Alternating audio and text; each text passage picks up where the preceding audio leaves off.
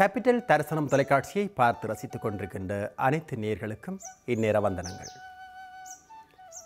வாழ்வின் வழியோர பொருட்கள் பகுதியினூடாக உங்கள் அனைவரையும் சந்திப்பதில் பெருமகிழ்ச்சி அடைகின்றேன்.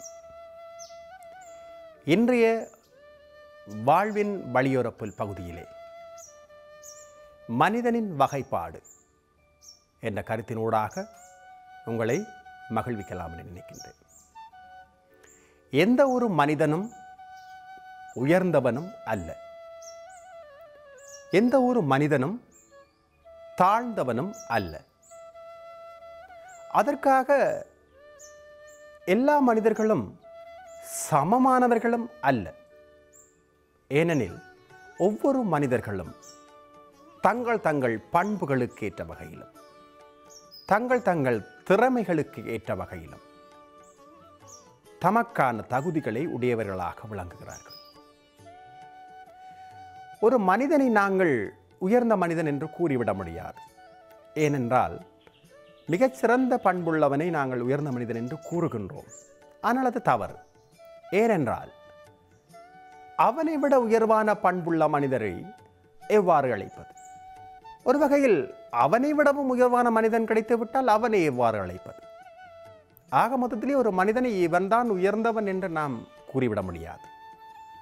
அதற்காக ஒரு மனிதனை இவன் தாழ்ந்தவன் என்று நாம் கூறிவிட முடியாது.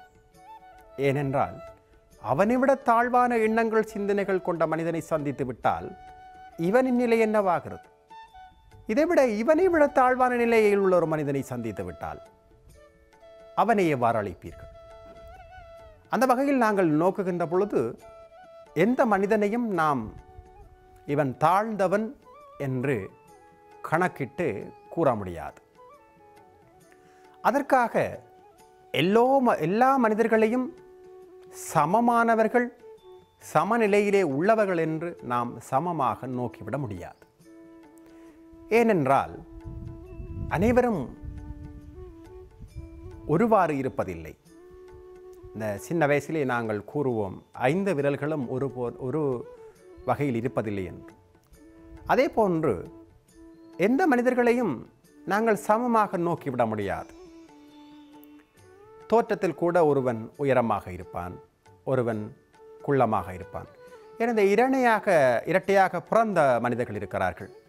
இரட்டையாக பிறந்தவர்களில் கூட தாய் அவளை அடையாளம் கண்டு வைத்து விடுவார் இது இவர் இது இவர் என்று தாய் தனக்குள்ளேயே அவர்களை இனங்கண்டு கொள்வார் அத்தகைய அந்த இனங்காணும் பண்பாடு ஒரு மனிதன் இன்னொருவனைப் போல இருந்துவிட முடியாது சமமாக இருந்துவிட முடியாது என்பதனை எடுத்து எம்புகின்றது அவ்வாறெனில் இந்த மனிதர்கள் எவ்வகையில் இனங்காணப்படுகிறார்கள்? அவர்களுடைய வகைப்பாடு தான் என்ன?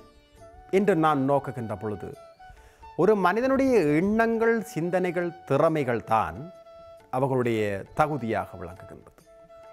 ஒரு மனிதனிடம் களவு எடுக்கின்ற உணர்வு எண்ணம் சிந்தனை இருக்கின்ற பொழுது அவன் கள்வனாக நோக்கப்படுகின்றான். ஒரு மனிதனிடம் மது போதையிலே மூழ்கடிக்க வேண்டும் மூழ்கடிய வேண்டும். மதுவை பற்றிய சிந்தனைகள் அதை எவ்வாறு தயாரிக்க வேண்டும் என்கின்ற உணர்வுகள் அவனுக்குள்ளே புரையோடி கொண்டிருந்தால் அவனை ஒரு குடிகாரனாகவோ அல்லது மதுபோதைக்காரனாகவோ நாங்கள் வகைப்படுத்துகின்றோம். ஒரு நாட்டியத்திலே சிறந்த விற்பனரான ஒருவனை சிறந்த நடன கலைஞனாக நாங்கள் வகைப்படுத்துகின்றோம். எல்லோராலும் நடன கலைஞனாகிவிட முடியாது. அதே போன்று சங்கீதத்திலே நன்றாக மிளிரக்கூடிய ஒருவனை சிறந்த சங்கீத பூசணம் என்று நாங்கள் கூறுகின்றோம். என்றால் எல்லோராலும் அவர் அவரை போன்று பாட முடிவதில்லை.